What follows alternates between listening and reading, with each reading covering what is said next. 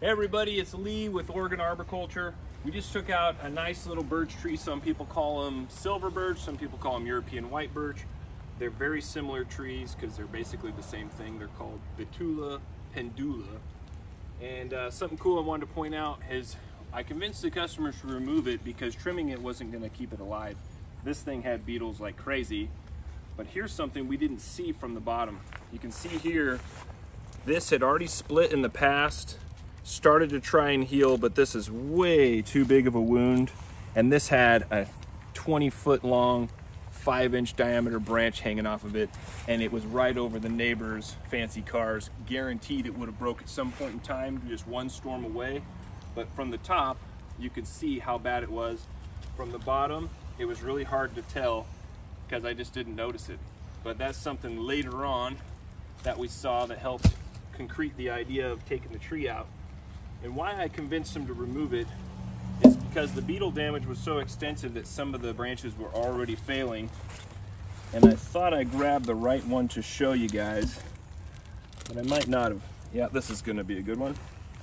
Okay, so when you're looking at the tree, if you see a whole bunch of holes in a row in a line with the way that the circulatory system of the tree runs, in line with the veins, then you know that's a sap-sucking bird because they'll have a straight line across. They don't want to move their feet much. They just want to peck across and drink as they go. But when you see this, this solitary hole with this brown goop coming out, that tells you that there's a bacterial infection involved with the sap that's pouring out. And as we get closer, we can see the hole. And if we scrape away the bark, when we reveal the hole, get down into the wood, It's a perfect D shape. So they it's flat across the bottom and rounded across the top.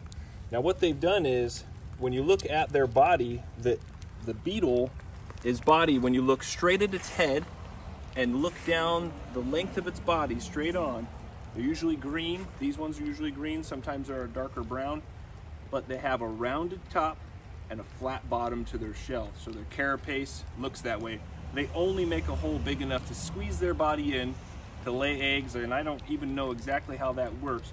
But once the beetles start to infest a tree, they don't hatch and fly away. Many times they find a mate, maybe a brother or sister. We don't even know how it works exactly, but they usually stay in the same tree unless there's maybe another tree close by. So they will reinfect the tree over and over and over again until eventually they kill it. Now, there are a few treatments, some soaks, some drips, some systemic pesticides. And they do work from time to time, but they can cost the customer quite a bit of money and there's no guarantee.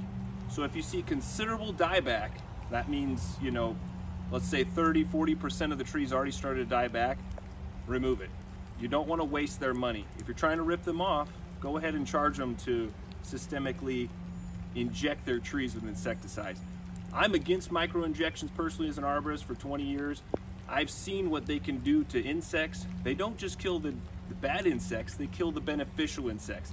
And I think that's one of the main reasons for the bee decline that we're seeing.